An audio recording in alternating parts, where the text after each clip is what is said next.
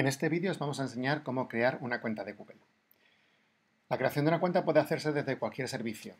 Yo suelo recomendar hacerlo desde gmail.com. Escribimos gmail.com y al entrar nos aparecerá una página como esta. Como no tenemos una cuenta previa, te aparece la ventana de identificación para que te identifiques tu cuenta si la tuvieras y si no la tienes, te aparece aquí la opción de crear una cuenta.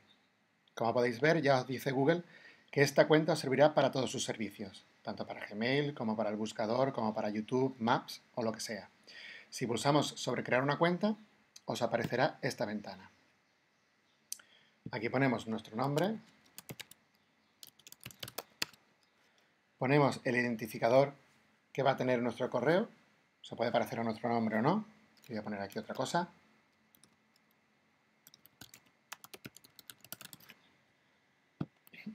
y escribís una contraseña.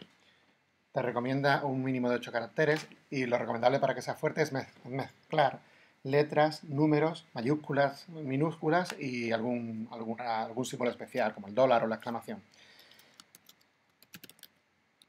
El medidor os va diciendo si es segura o no.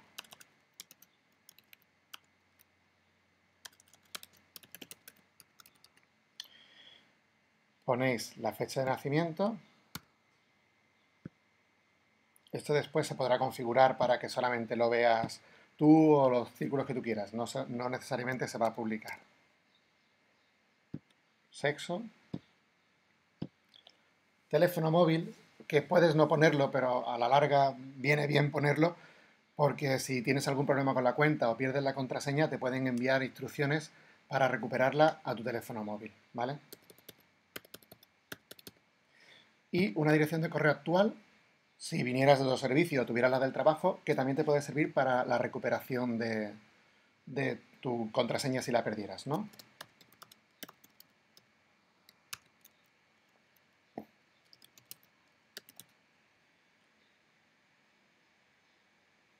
Este es el típico CAPTCHA que aparece para evitar la creación de cuentas masivas, lo tenéis que escribir.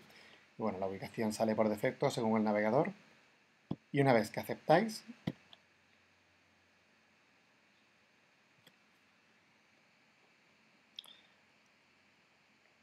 te pedirá unos datos básicos para la cuenta de Google Plus, que se autoconfigura. No tienes por qué poner una foto, le puedes dar directamente a paso siguiente.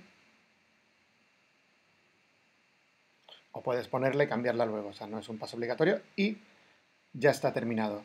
Te dan la bienvenida, dicen que está creada tu cuenta y puedes acceder a cualquiera de los servicios. Como empezamos con Gmail, pues te aparecerá el botón de ir a Gmail.